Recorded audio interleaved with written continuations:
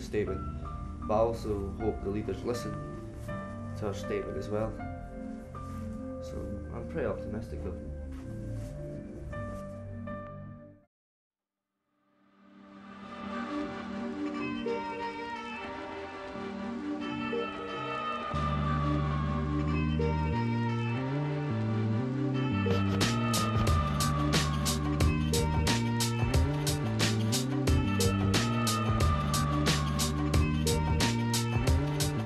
course, we are trying to, to demonstrate against what's happening in our country. And uh, as you see, we have a lot of friends supporting our cause.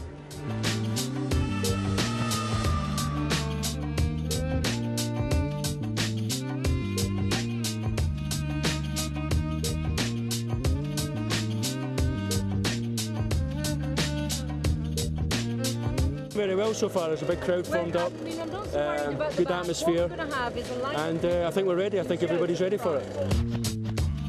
يا دنيا انت اللي حرمتيني من اهلي وسكنت الغرب من غصب عزم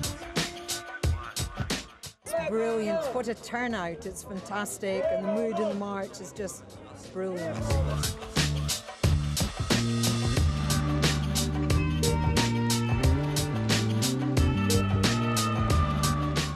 I feel very sad because they're from my country, and I feel very sad about them because I think they're innocent and there's nothing they did to deserve this. Now, at this point, I want to stress that everybody here is here because we want peace in the Middle East. More importantly, the people in the Middle East want peace. But let's be clear about something. The only peace that's ever been on offer to the people in the Middle East from these American and British imperialist and Israeli ethnic cleansers is a Roman peace involving their complete submission and subjugation and the turning of their land into a free market desert. This peace, which involves slavery, is unacceptable.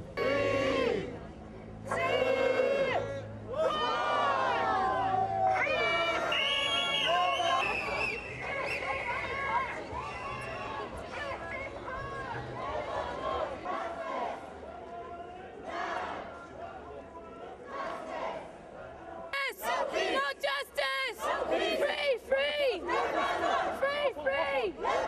Free, free! Absolutely, terrible and absolutely ashamed of MPs and the Prime Minister that are not doing anything to um, halt the violence now and, and to have halted it five, you know, four or five weeks ago.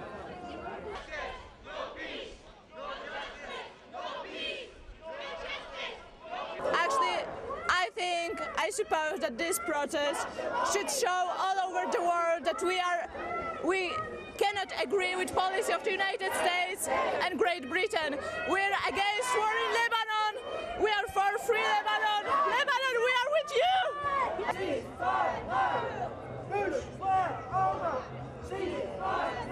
I'm not particularly involved in this um, organisation, but just as an ordinary British citizen, I just think it's disgusting. And I'm extremely angry that our government is allying itself to the United States, who are just apologists for Israel. And I believe what they say Israel is a terror state.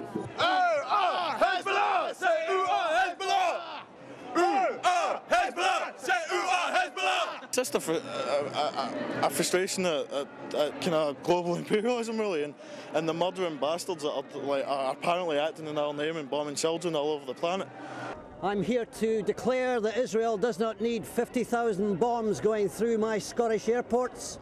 Israel needs 50,000 psychiatrists and behaviour th- behavioural therapists uh, in order to find out why they have to kill uh, 10, 20, 30, 40, 50 Arab children and women for each Israeli that's killed.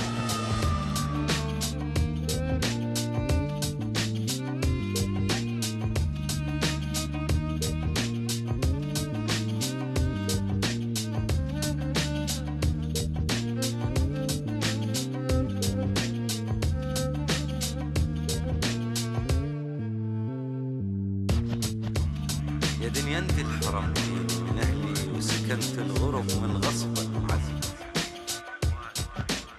يا دنيا انت اللي حرمتيني من أهلي وعشت بالغربة من غصب عزم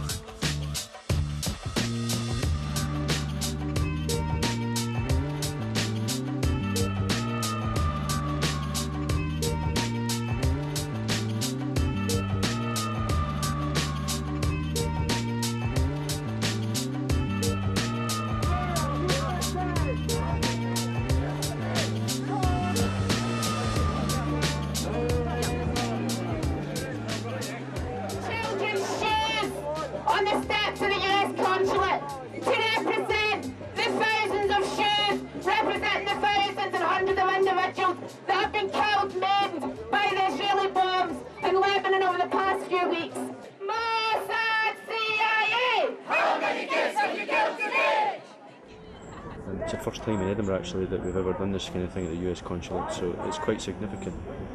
Um, and I think the delegation really appreciated it and the children because really at the bottom of this war is, is children, innocent lives are being slaughtered, you know, and we want to emphasise that. Uh, I am from Palestine, uh, but I was I've never been to my country and I have no right to return to Palestine because Israel does not give me the right of return. And um, I was born and grew up in Lebanon in refugee camp called Sabra and Shatila, where I lost my family in the 1982 and uh, during the war in Lebanon. We're from Palestine. Uh, we're a group of uh, Jewish people who live in Scotland, and we are very, um, very much against um, Israel's actions, and we feel it's really important that, um, as people who are Jewish, that we speak out and um, let the world know that they can't take as an assumption the fact that every Jewish person supports Israel, because there are lots and lots of us.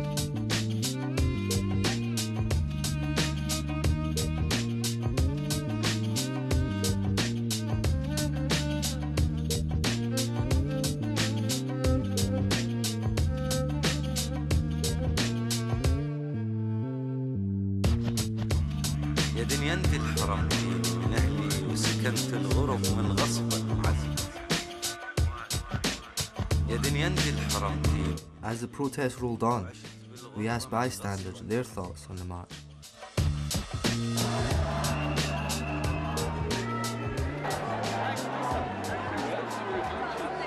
The government will decide what they want to do, and unfortunately, there's not a lot we can do about it. And the founders of the State of Israel were atheists. They weren't Jewish at all. All the founders of Israel were atheists. And I've got nothing against Israelis at all. Some of the Jews have been the best socialists in the world. And they should be embarrassed for themselves. They should be totally embarrassed with what they're doing. It's a festival. In Scotland, you can protest about anything you like and, you know, freedom of speech. But they couldn't do it in their countries, but they can do it here. You know, it's sad that in a day like this we have to listen to that.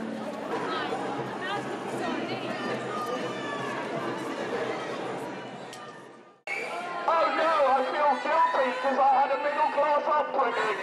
I've got to find something to do. Oh no.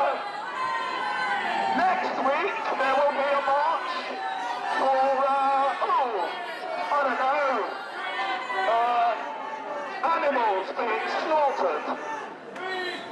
You're all spoiled bright children with middle class upbringings who don't have anything to do on a Saturday afternoon.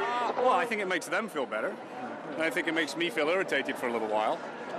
But that's their constitutional right, which it wouldn't be if the Middle East was run by the people they support.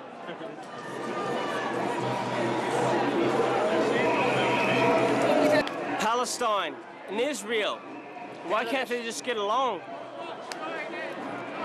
I'm from America and you got to deal with what we have to do. Oh, look at me. I used to march against South African apartheid.